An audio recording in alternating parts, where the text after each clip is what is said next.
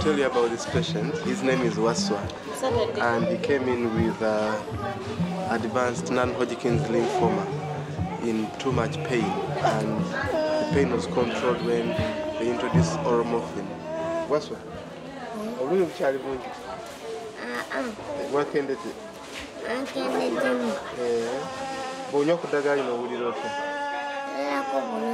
obeera bulungi so he says when he takes this medicine the pain is con- controlled and it feels better mm. Wasswa is one of the lucky few I don't know why but um, because Hospice Africa Uganda comes in and sees the patients who are in severe pain so Wasswa was uh, among the few who got that so morphine in addition to the other medicines he's now able to sleep, he's able to play, and they both feel happy. However, she's worried because once the morphine is completely out, the pain might come back. So that's her main worry now. And I was assuring her that maybe we shall be able to get more morphine before this one gets finished. Okay, thank you so much. High five.